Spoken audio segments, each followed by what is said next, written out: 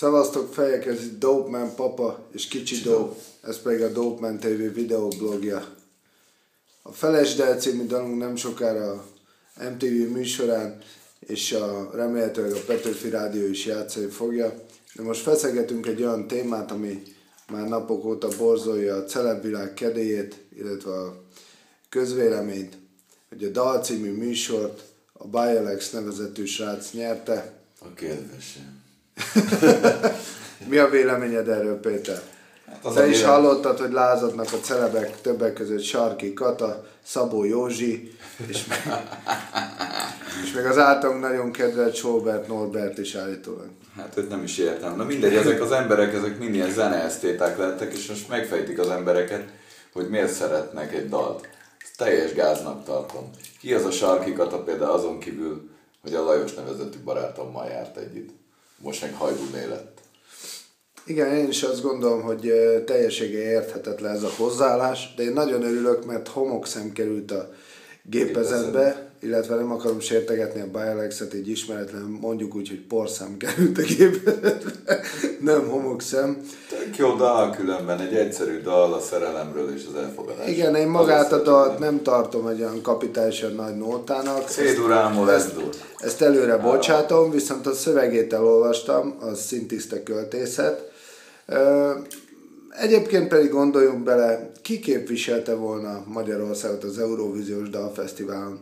Nem kérdőjelezem meg Radics Giginek a képességeit, tényleg egy fantasztikus tehetségű énekesnő, aki egyébként még nagyon sok tanulásra és tapasztalatra szorul, hiszen 16 éves, de az ő dalával például meddig jutottak volna a magyarok? Azt gondolják a magyar emberek, hogy a világon máshol nem ismerik Beyoncé Knowles-t?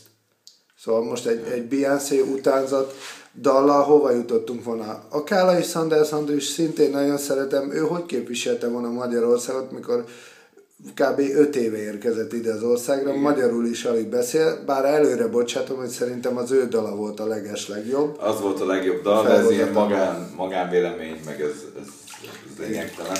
Amire voltak még ilyen összeesküvés elméletek, hogy azért nyerették meg a bialex hogy nagyon magyaroknak kelljen megrendezni ezt a versenyt, ami szerintem szintén egy baromiság, egy hülyeség.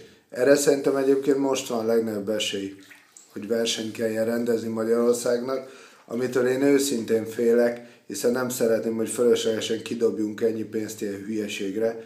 Biztos vagyok benne, hogy semmelyik dallal nem nyertünk volna Eurovíziós Dalfesztivált, hiába is hiszik nincs. azt az emberek, sanszunk nincs.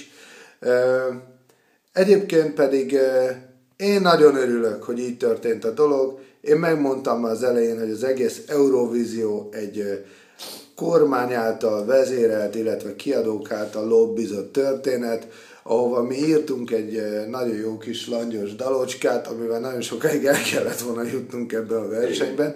Minket már az elején politikai alapon kiszórtak a műsorból.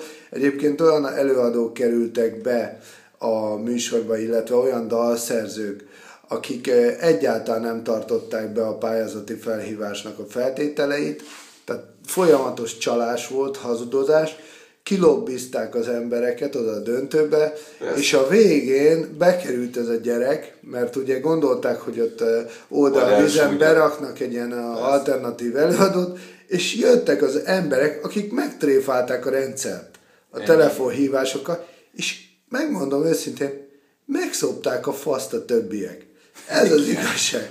Igen. Meg lettek És az ilyen szopatva a nép rendszerbarát kis által. hajduk, tudod, azok Persze. most meg ideggölcsöt kapnak, és vadul tépi a haját. Igen. És dobálja a frisbee-t a kertbe. És kutyának. azt hiszi, hogy ért a zenéhez, mikor a tévé műsorkészítéshez sem ért. semmi. Az az igazság, olyan emberek bírálnak meg, okoskodnak zenéről, akiknek közük nincsen hozzá. Tehát Akik hajrá, járnak tanácsért. ennyi, hajrá, Bialex! Eh, Kívánunk neked nagyon sok sikert. Nem mondjuk őszintén, minket nem köt le a zenét, de jó gyerek vagy, látjuk rajtad, szép szöveget írtál szerelemről, őszintét, legalább van eredetiség a dalodban, nem vagy kamu, és őszintén hozod magadat. Egyébként gratulálunk a többieknek is, de az egész Eurovíziós Dalfesztivált egy nagy lószarnak tartjuk, egy csalásnak, de örülünk, hogy még egyszer egy Bialex megtréfálta a rendszer. Sok sikert testvérem, nyomjad, hajrá, hajrá! Kedvesem.